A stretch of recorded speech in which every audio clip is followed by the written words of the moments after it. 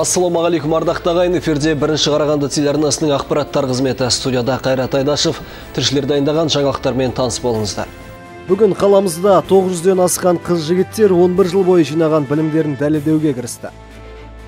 Халықаралық балаларды қорғау күніне арналған іс-шаралар шаһарымызда әлде болса өз жалғасын табуда. Бегапарк балалардың ойын орталығы бірқатар шараларды ұйымдастырды. Кеше елімізде ұлттық бірыңғай тестілеудің алғашқы күні басталды. Ал бүгін қаламызда 900-ден асқан қыз жігіттер 11 жыл бойы жинаған білімдерін дәлелдеуге кірісті. Ал олардың тағдырына алаңдаған ата-аналары білім майданына аттанып бара жатқан туған перзентінің тілегін тілеп, соңына дейін күтіп отырды. Немеремді күтіп тұрмын. Сағат 8-ден осындамыз. Енді балаларға не жалғыз немерем емес, күлді балаларға жақсы шықсын жақсы оқыған еңбектері жансын деймін білім алған жерлері ұмытпасын дегендей мына бір қарған қаласын үлкен азаматтары болып шықсын деймін. Мен жолдас баламды күтіп отырмын. Жарты сағат болды күтіп отырғаныма. Сол қазір бір уақыты келгенде шығар. Барлық барлық абитуриентқа өзінің керек балын алып жақсы поддержка жасап дегендей жолдас балаларды бәріне сондай күтіп отырмыз бәріміз. Ждем конечно же хороших результатов чтобы дети хорошо сдали наши чтобы все поступили в вузы. И все было у них хорошо таң атысымен мектеп қабырғасынан ұшқан түлектер қалың әскердей қатар-қатар тұра қалып лег-легімен жоғары білім мен ғылым шыңына шабуылды бастады. Сағат тілі тура тоғызды көрсеткенде сынақ басталып та кетті. Үш жарым сағат шектеулі уақыт ішінде әр оқушы 125 сауалға жауап беруі тиіс. Тестілеуден алғашқы шыққан абитуриенттердің пікірін де білдік.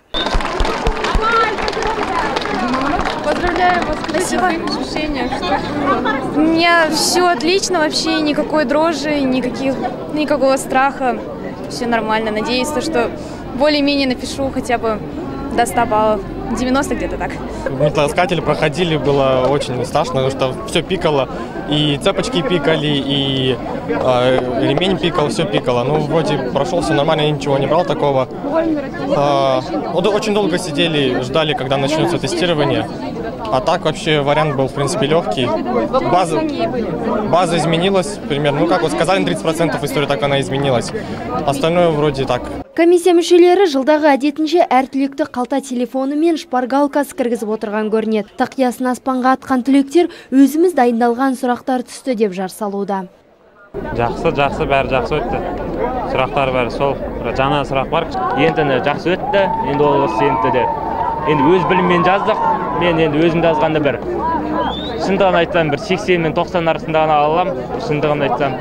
Енді бүкіліне жаңағы сәттілік тілеймін осы жерде жақсы алсын деп айтамын жалпы кеншілер шаһарында мемлекеттік және жеке меншік мектептерден биыл 2 мыңнан астам оқушы бітірді. Соның 950-ге жуығы үшінші маусым күні бірінші кезеңде ұлттық бірыңғай тестілеу сынағын тапсырды. Қала бойынша алтын белгіге 39 түлек үміткер. Ал ерекше аттестатқа 23 үздік ұсынылған. Ал маусымның екісінен бастау алған сынақ сегізіне дейін жалғасын табатын көрінеді. Бап пен бақтың қатар шабатын уақытында оларға тек сәттілік тілеп ұстаздары мен ата аналарының сенімдерін ақтағай дейміз. Гүлназия мейірханқызы айдын жаханер нұржомарт бірінші қарағанды телеарнасы Халықаралық балаларды қорғау күніне арналған іс-шаралар шаһарымызда әлі де болса өз жалғасын табуда. Әр мерекені жадынан қалт жібермейтін Играйка балалар әлемінде кішкентай бүлдіршіндерге тағы да бір қуаныш сыйлады.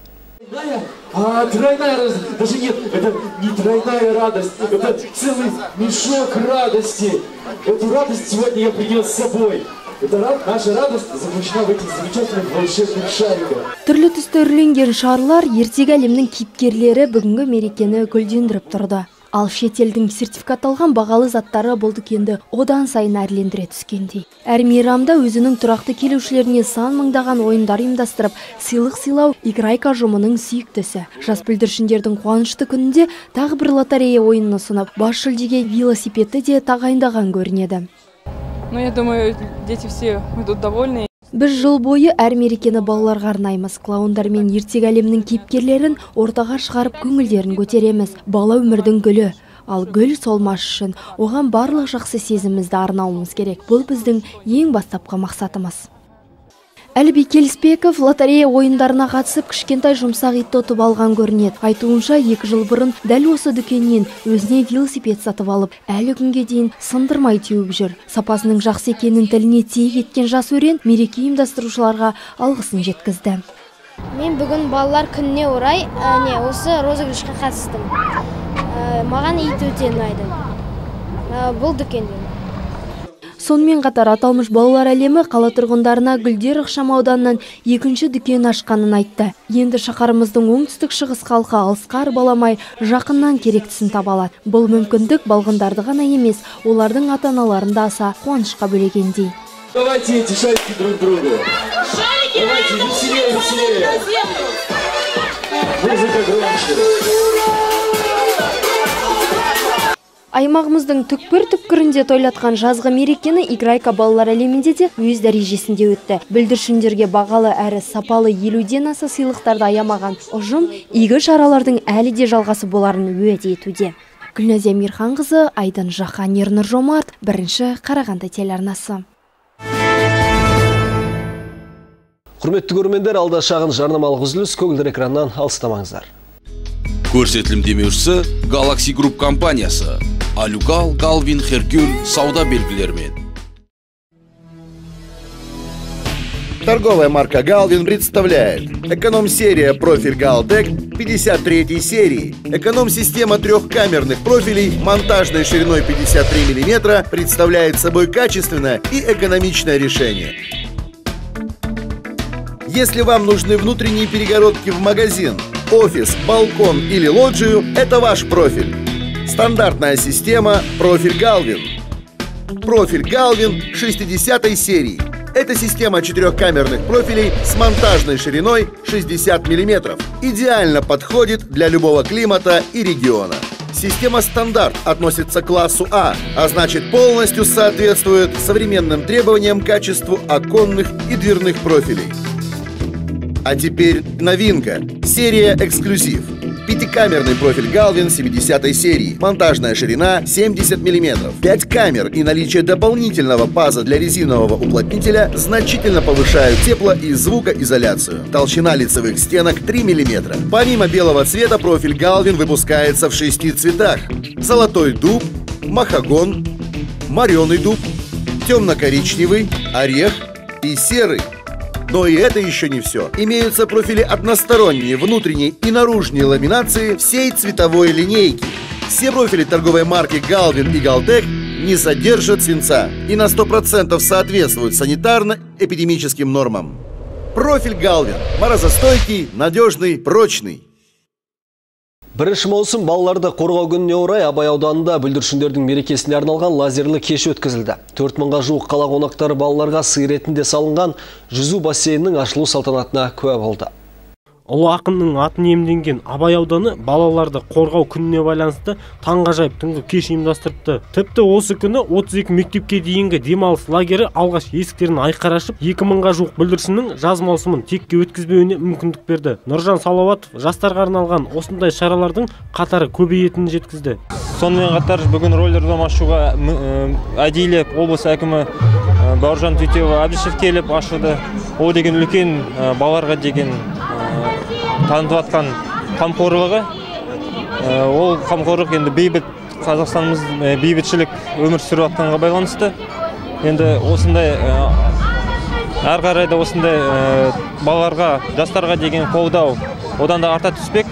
Балалардың құрметіне су бассейнінен бөлек роликті алаңда пайдалануға берілді. Ұл қыздарын ертіп келген ата аналар тарапы қамқорлық аясында жасалып жатқан игі істердің бүлдіршіндерге салауатты өмір салтын ұстануға жол ашатынына сенімді. Саябақтағы түнгі ғажайып кешке немересін алып келген роза қиғанбекқызы ұйымдастырушыларға алғыс білдірді. Әрбір мереке сайын қандай да болмасын біздің абай ауданының әкімшілігі абай ауданының басшылары бір іс шарасыз өткізген емес. Бүгін халықаралық балалар күнінің қорғау күніне байланысты қаламызда міне бассейн ашылып жатыр. Роликті алаң балалардың алаңы ашылып жатыр. Біз бүгін оған қуаныштымыз. Бұл салауатты өмір салтына септігін тигізеді дейміз. Әрі балалардың көңілін көтеріп балалар біздің мемлекетіміздің тірегі біздің болашағымыз. Осындай көмекке ие болған балалар мерекелік кештерін көңілді өткізді. Өздеріне жасалып жатқан қамқорлықты көзбен көріп қызығын көрген жеткіншектер ойын сауыққа толы жүректегі қуаныштарын жасырмады. Осы бірінші маусым балалар күніне байланысты абай ауданында көптеген іс шаралар өтіп жатыр. Балалар көп қатысып мәз мейрам болып жүр. Осы абай ауданымызда балаларға арналған кішіпейім бассейн ашылуда. Осы бассейн салғандарға әкімімізге көп рахмет айтамыз. Мерекелік күнге орай сый сияпатқа ие болған балалар мәре сәре жазғы маусымдық демалыстары да құр текке доп тепкілеумен өтпейтін болды кеш соңында барша қала тұрғындары қол ұстасып би билеп тарқасты мақсат бейсенаев олжас габбасов ернұр жомарт бірінші қарағанды телеарнасы Балаларды қорғау күніне орай қалалық мәслихат депутаттары ата анасыз қалған бірнеше жасөспірімге сыйлықтар берді. Балалар салтанатты шараға ата әжелерімен келген. Жетімдігін білдірмеуге тырысқан асыраушылары балалардың қуаныштарын бірге бөлісті. Балалар ә, сендерді мынау кел- келе жатқан мейрамдарыңмен құттықтаймыз. Қалалық мәслихаттың депутаттары әдейі сендерді шақырып сендердің аттарыңнан сендерді құттықтай кетіп бүкіл қарағанды қалаларындағы балаларды құттықтап отыр. Халық қалаулылары әр аптада мәслихатта ресми жиындар өткізеді. Алайда кезектен тыс жиында шенеуніктер мен депутаттардың бөлмесінде қарағандылық ата анасы бес бала жақындарымен бірге қадірлі қонақ ретінде бас қосты. Ты, конечно, какой біздер балаларды мерекесімен құттықтауды ұйғарып отырмыз. Мереке қалайша сыйлықсыз болады. Біз сіздерге смартфон телефонның нөмірі мен әрине мейрамның сәнін кіргізетін тәттілерді береміз. Жасөспірімдерге сыйлыққа екі сим карталы нөмірі мен смартфон флешка картасымен және тәтті дәмді тартулар тапсырылды. Сыйлықтар берілген соң жиналғандар өзара пікір алмасты. Балғындардың жанашырлары халық қалаулыларына арыз шағымдарын айтып көмектесулерін сұрады. Депутаттар да ол мәселелер аяқсыз қалмайтынына сендірді. Бізді шақырғандарыңызға өте рахмет. Биыл нулевойды бітірді. Бірінші класста барады. Он алтыншы мектепте. Енді осы балаға қандай бір көмек бола ма?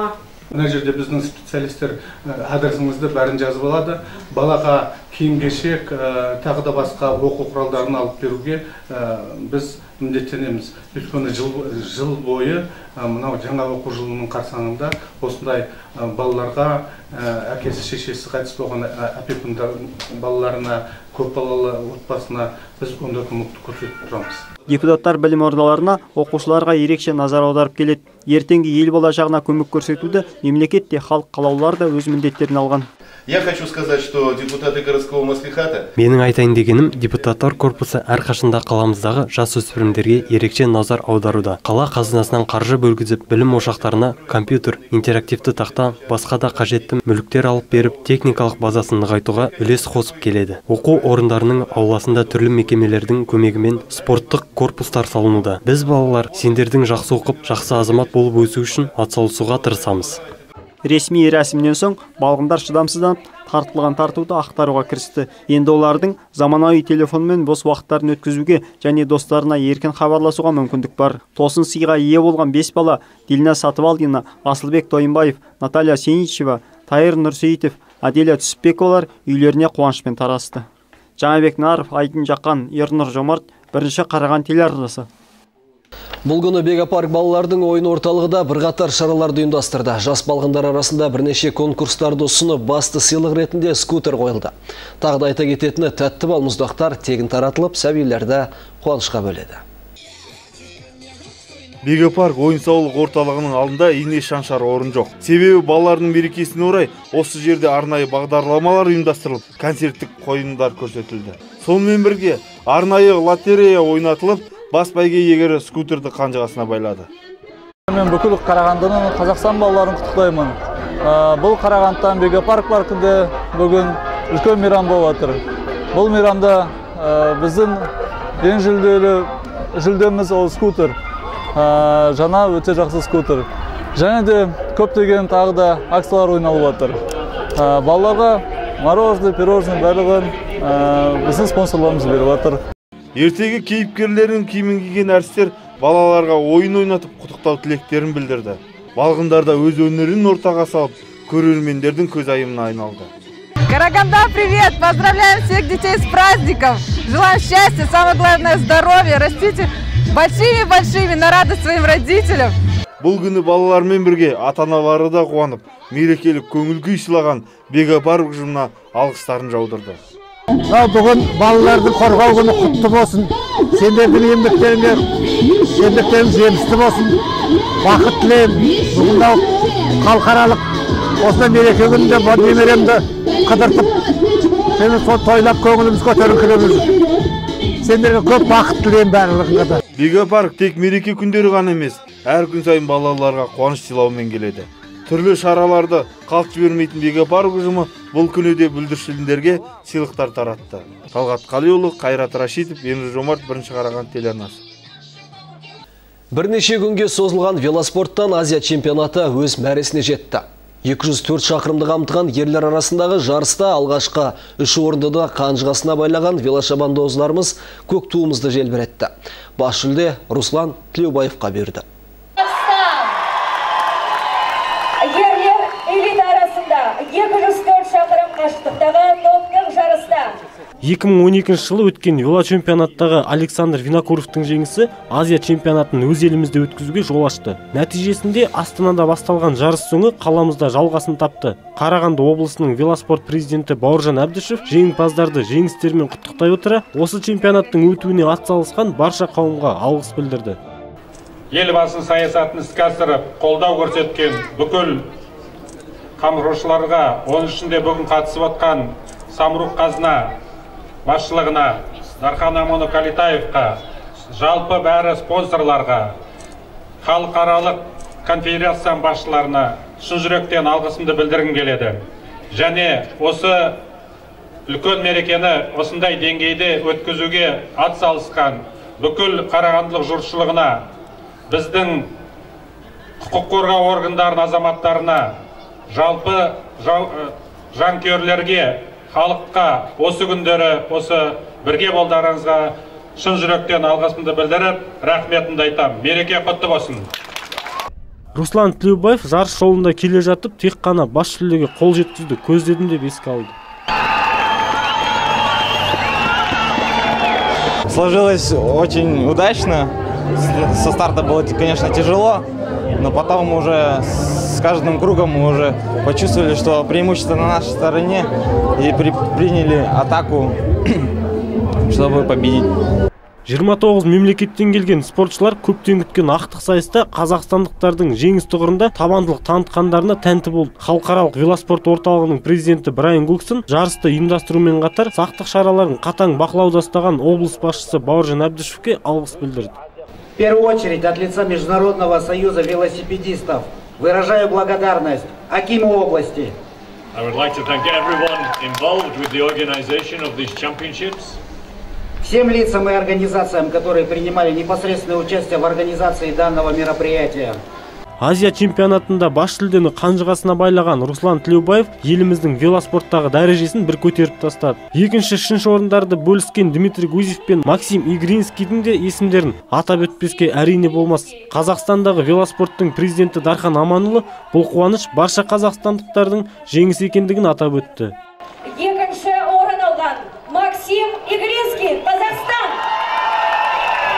Мы провели этот праздник, праздник спорта. Первый раз в Казахстане прошел чемпионат Азии. Я хотел бы поблагодарить Акимат Карагандинской области, лично Акима области, всех людей, кто активно участвовал в проведении этого праздника. И, конечно же, победа казахстанского велоспорта, победа казахстанского спорта на сегодняшний день на лицо. Всех вас с праздником! Поздравляю!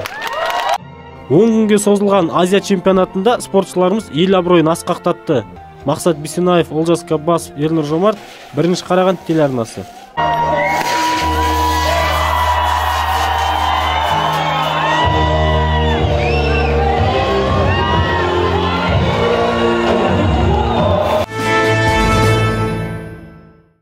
Тілшілеріміздің бүгінге дайындаған жаңалықтардың реті осындай болды. Егерде қандай да бір қызықты да маңызды ақпараттарыңыз болатын болса редакциямыздың 42 49 телефонына қоңырау шалуды ұмытпаңыздар.